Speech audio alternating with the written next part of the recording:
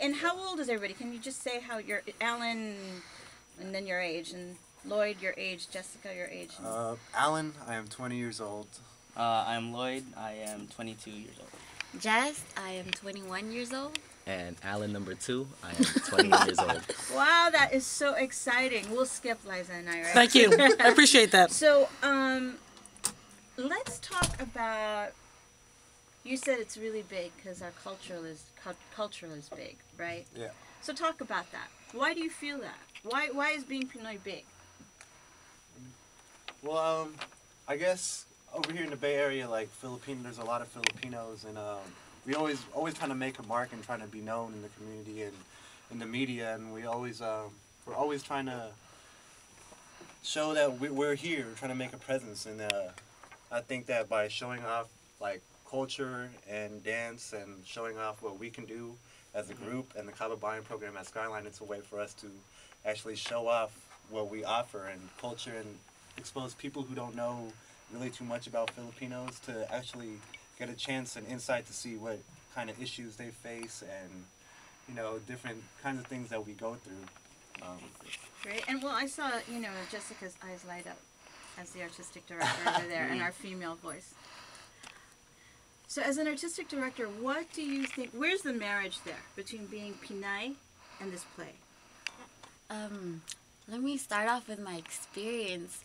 Um, growing up in high school, I had no um, I had no outlet to really discover my culture, know anything about my roots. I didn't know anything about myself until I reached Skyline College and I took Liza's English class. I started to learn more and more about myself. I actually can I finished my English with her, and that's how I got into the artistic aspect because I'm an art major. And from there, my love for culture escalated, and I learned a lot about how culture is important.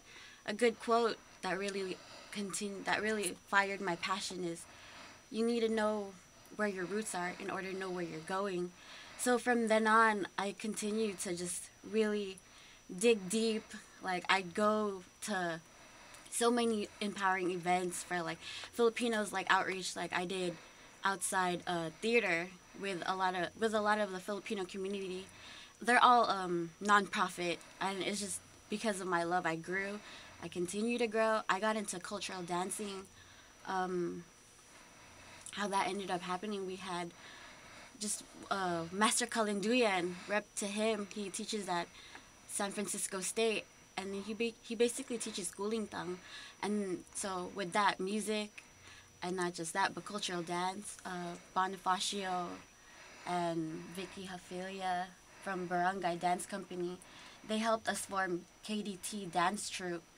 We're basically a nonprofit organization, and we dance throughout the area. We get paid, and we don't, but just to support Filipinos, and we continue just to thrive. Um, my partner here, head choreographer, can relate to that. Yeah, Allan, talk a little bit because obviously it's going to be a mix of different dances, right? And so, what motivates you around um, creating something new?